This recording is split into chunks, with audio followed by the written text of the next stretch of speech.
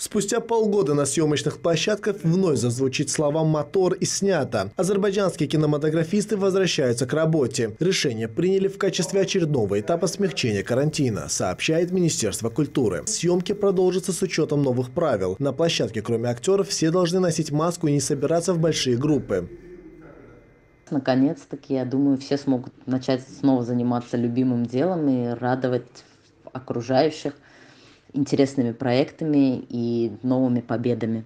До пандемии киноиндустрия в Азербайджане стремительно развивалась. На экраны все чаще выходили интересные картины, которые также привлекали внимание зарубежных критиков. Лучшие азербайджанские фильмы все чаще стали включать в различные международные конкурсные программы. Очередная радостная новость для киноманов пришла буквально сегодня. Фильм «Фарида» включен в конкурсную программу Московского кинофестиваля «Будем жить». Лента будет показана в категории «Игровое полнометражное кино».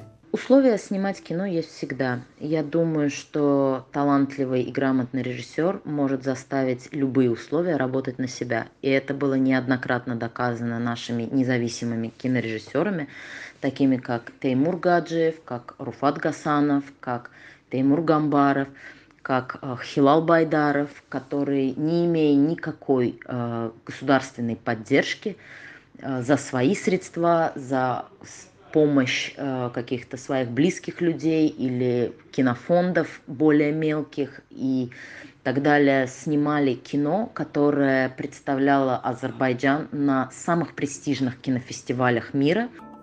Фильм «Фарида» был снят кинокомпанией «Нариман Фильм» совместно с Санкт-Петербургской школой нового кино. Продолжительность картины 70 минут. Автор сценария и режиссер фильма Ксения Лагутина, продюсер Нариман Мамедов. Главную роль в фильме исполняет молодая актриса Мариам Ибрагимова. Атарух Ахмедов, CBC.